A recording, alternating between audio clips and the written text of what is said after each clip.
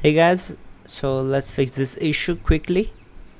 You have to just follow my screen and don't miss any steps. This solution is applicable for windows 10 as well as windows 11 system.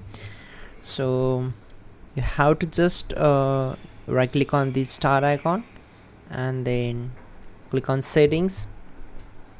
Once we are here just click on these three lines and go to uh, accessibility.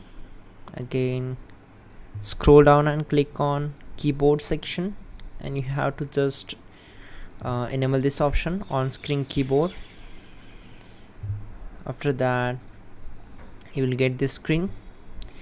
And for now you have to go to search bar and type your control panel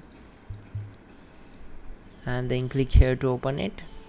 Once you are here you have to set the view by category uh, as a small icons uh, and then on the screen uh, we need to click on keyboards.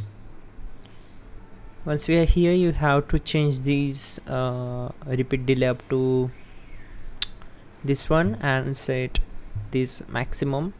Click on apply and then ok. Once done close this window.